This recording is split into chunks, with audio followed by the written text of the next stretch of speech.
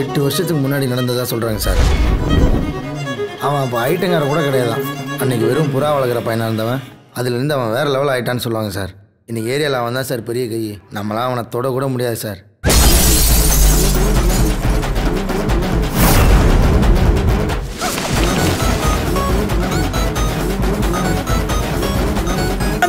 மொரட்டு பைய சார்.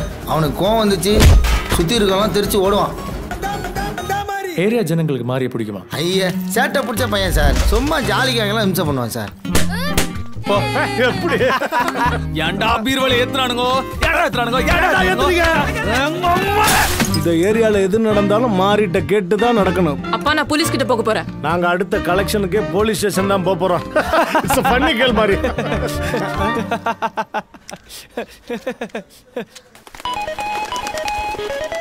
இந்த பொண்ணு நீ வெறிக்க வெறிக்க பார்க்கறத பார்த்து நான் கூட லவ் வந்து சந்தோஷப்பட்டனா? அந்த பொண்ணுக்கு நாங்க இருந்தாடா இல்லனா எங்களுக்கு தெரியுது.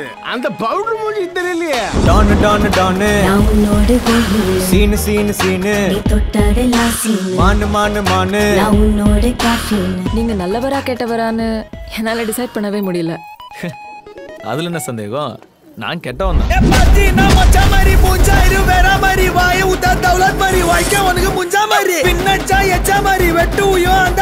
அப்புறம் சாருக்கு இங்க என்ன வேலை? ரவுடித்தனம் இருக்கிற இடத்துல தானே போலீஸ்க்கு வேலை?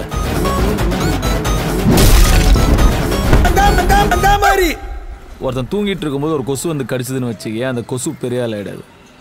ஒரு நாள் முழிச்சுன்னு இருக்கிற சொல்ல கடிக்கும் போது பட்டுன்னு அடிச்சா பொட்டுன்னு போயிடும்? ஒரு நாள்.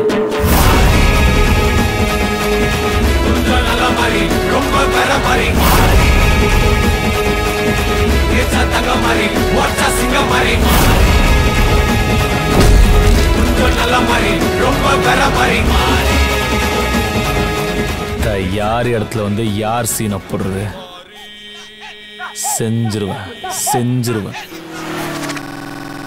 மாறி இது இன்னும் முடியல. முடியலன்னா போடா. என்னடா? என்ன?